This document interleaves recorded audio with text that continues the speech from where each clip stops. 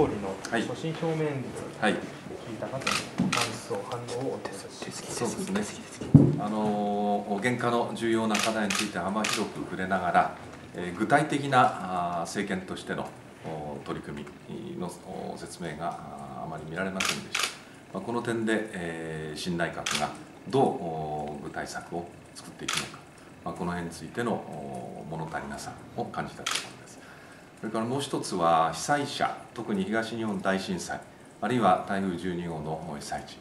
こういう地域の被災者の思いに触れながらですね、どこか他人事のように聞こえます。自らの共感性、そしてまた自らの決意、信条、もっと前面に出して、そして被災者に寄り寄り添って思いに応えると、そういう気迫が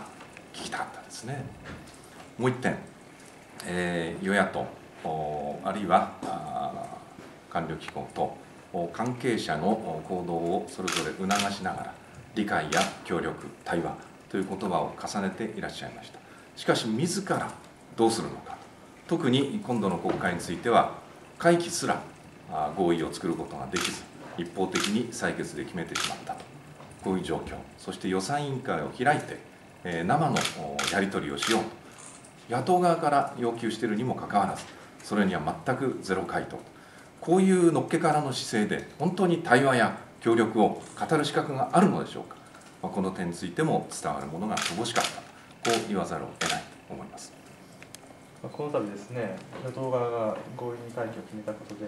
その与野党協議に水を差すのではないかという見方もありますが、その点は大丈夫かでしょうか。まあ、まさにその点を一番懸念しているところであります、えー被災者や国民の方々は今度こそ政治が前へ進みそして、えー実が上がるということをもう心から期待されているはずであります。我々はそれに応えていきたいとこう思っております、えーその野田内閣として総理自らが決意を語るのであればそれを内閣としてもまた与党としてもしっかり共有をして本当に死ぬ気で必死の決意で取り組んでいただきたい。我々はそういう気持ちが伝わるならば喜んでお答えしていきたい。このように思っております加瀬さん、いかがでしょうか。あの私あの民主党国会は、はいやはりその閉中審査での予算委員会をすることをお提示してますけれども、この今のままで、そうしましたら三党協議、申し入れがあった場合には応じられますか？まあ、ここが閉会中審査をするというのは一回閉じるとしかもみ自分たちで多数決で決めたことを一回閉じると言ってるわけでありますから閉会中いつやるのかということが明確にならない限り対話をできる環境は自ら壊したと言わざるを得ないと思います応じるのは、えーね、日付がいつやるかということを示されてからということですか。早急にいつやるかということを野党側に示して合意を得ることが先決だと思います公明党としては決内の予算委員会の開催を求めていただと思いますが、そうですね。時期についてはどこもちろんこれは早急にやることが重要なことでありまして滑り出しに国民と対話をするそのきっかけを国会が作るということですからぜひ、えー月内に実現していただきたいと思います。野田さんはですね、はい。その所信表明の中で、まあはい。頭を下げたりですね、えー野党の方を目に目を向けたりですね、いろいろとその形の上では気を使っているようにも見えたんですけども、その辺は代表どう映りました。まあ、野田さんの個人的な思いはあ必ずしも定かではありませんがやっぱやはり内閣として所信を述べて、えーそして取り組むわけでありますからその一体性えーその思いの共有というところをしっかり出していただきたいと一人相撲ではまたこれまでの失敗の繰り返しに終わってしまうこう心配をしております。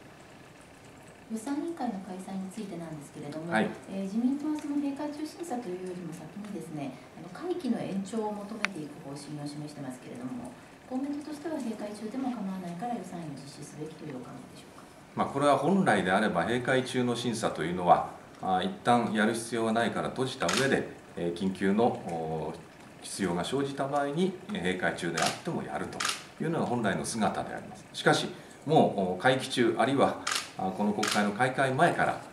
その必要性というものを訴えてきたわけでありますからやはりこの会期の中で本来は解決すべきでありました。そこは与党として誠意ある対応を示していただきたいとこう思っております。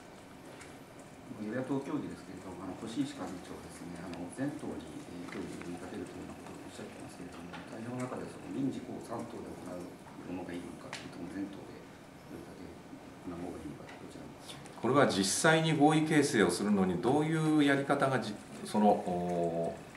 現実的かという判断だろうと思います。これまでの経験の中で、え特に衆議院で、え主要な議席を占める、えそういう3党で合意形成の実績を作ったわけであります。また協議をするという環境も作ったわけでありますからそれを生かしていくとただそれが3党だけで他の野党を排除するというものであってはなりませんしかしその3党の協議に代わって、えー他の協議が現実的に進むということを期待するのは前政権またその前の政権との失敗を繰り返すことにつながってしまうのではないかとやはりもっと腰を据えた一貫した方針のもとに、えー他党に気を配りながらやるというのが本来の姿だと